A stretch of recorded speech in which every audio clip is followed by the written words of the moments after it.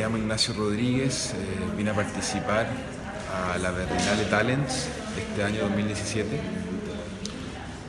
es una iniciativa interesante que dura una semana dentro del festival, donde convergen distintos jóvenes realizadores de todo el mundo eh, en esta especie de seminario donde la idea es como estimularse mutuamente y poder generar eh, conexión entre todos nosotros que, que, somos de distintos oficios dentro del cine. Hola, mi nombre es Catina Donoso, estoy acá en Berlín como parte de la delegación chilena que viajó al European Film Market y además este año fui seleccionada como productora emergente en Talents del 2017. Eh, para mí la experiencia de Talents ha sido muy importante.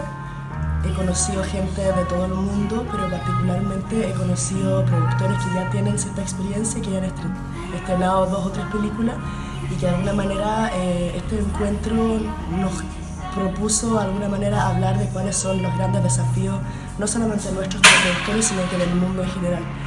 Hola, soy, soy Víctor Idarzún y participé en el Berlinale Talents en la parte de crítica de cine.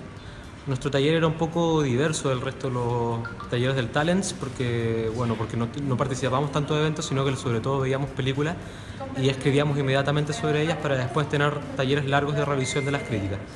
Eh, fue una bastante buena experiencia, trabajamos con críticos con, con, bastante más trabajo y trayectoria de lo que tengo yo, así que eso es siempre una cosa muy enriquecedora.